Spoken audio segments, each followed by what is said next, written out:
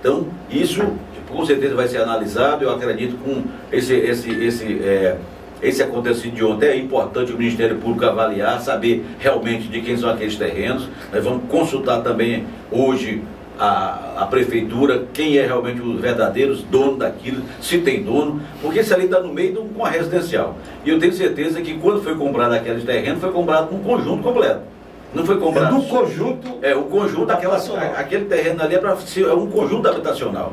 Então eu acredito que aqueles terrenos também devem pertencer ao conjunto habitacional, deve, deve pertencer à União. Eu acredito que deva ser terra da União, porque ele foi comprado com dinheiro do, do da União. Então ali foi, ali foi feito o residencial com, com, com recurso do Banco do Brasil. Eu lembro bem da plaquinha lá. Aquele, aquele residencial ele custou aos cofres brasileiros 45 milhões de reais na época, que hoje com certeza, se você for analisar, deve estar dobrado. O cimento devia ser 11, 12 reais o saco, hoje é 40 reais o saco de cimento. Eu lembro como se fosse hoje aquela plaquinha lá, foi 45 milhões de reais aquele residencial. O, o da, o do Santa Rita foram 36 milhões de reais.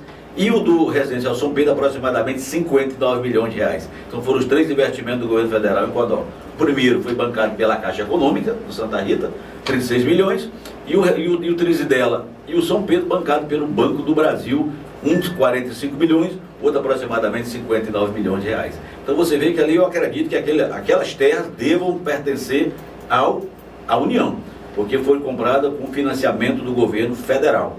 Então nada melhor queira tirar essa dúvida, não é verdade, Pedro? Que saber quem é quem é aquele terreno ali, saber se, se, se tem dono, se estão pagando IPTU, se tem algum benefício, porque a prefeitura é que mantém aquilo limpo, você viu que nós fizemos um mutirão grandioso naquele residencial para manter ele limpo, e tem aquele monte de terra devoluta ali no meio, que infelizmente eu acredito que deva ser da União, e vamos providenciar realmente saber depois desse. desse então você não tem nada a ver com essa história. Nada, nada. Eu quero é que se resolva da melhor forma possível, realmente que se tiver um dono apareça, que realmente ele faça muro, pode faça calçada e, e realmente dê um, uma finalidade para aquelas terras ali que estão realmente fazendo, servindo ali de lixões,